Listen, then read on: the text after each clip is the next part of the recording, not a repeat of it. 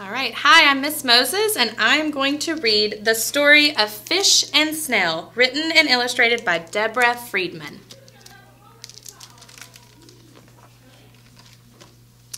Every day, Snail sits in one special spot, waiting for Fish to come home with a story.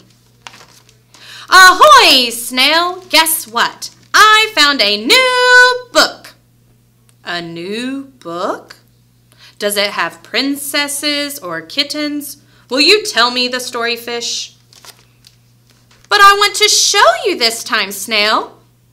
Fish, you know I don't want to go into other books. I like this book.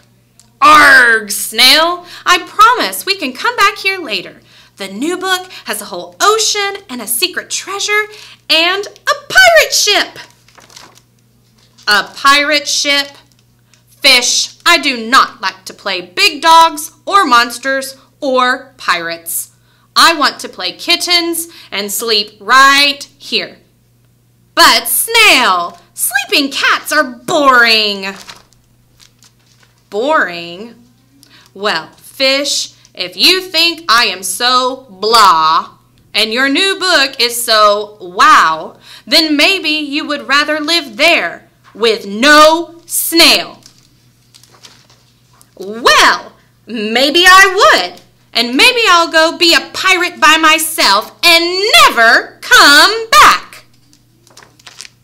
Well, fine. Fine, Snail. Goodbye. The end. But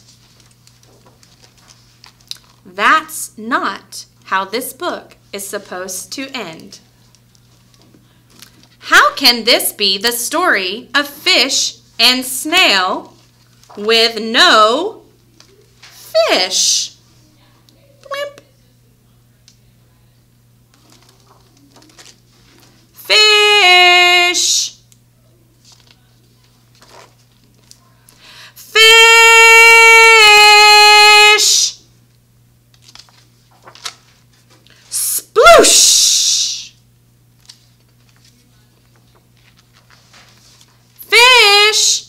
Where are you? Snail? Snail, you came. You are very brave. Brave enough to be a pirate? Of course. Or maybe, what, fish? A kitty pirate. Together again, the friends set sail. Jolly pirate fish and first cat mate snail. The end.